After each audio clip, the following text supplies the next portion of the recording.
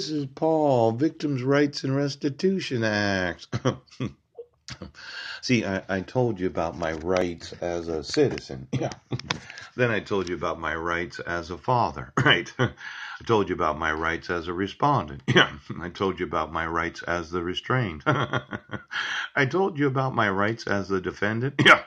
Now I'm telling you about my rights as a renter. now, it would be so helpful if you just decided to do what the law says. but for all the federal employees that have these specific investigative procedures, I think we need a very serious investigation of all the employees of the city and county. Yeah. And exactly how it is that they thought that they could terminate the utilities. Yes when I have a rental agreement that was being paid for from a charity. Yes, without a court ordered termination of rental agreement. Poop.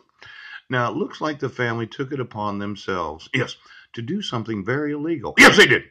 Because when we have verbal agreements, yeah, we have written agreements, yes, and then the city uses a, a authority that they don't have, they abuse their power without court order.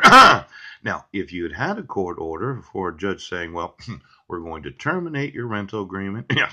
You can have your deposit back because you've been a good renter. Yes. and then I could have used that $150 for numerous reasons. Yes. I could have went someplace. Pooch. I could have bought a bus ticket. Yeah, I could have.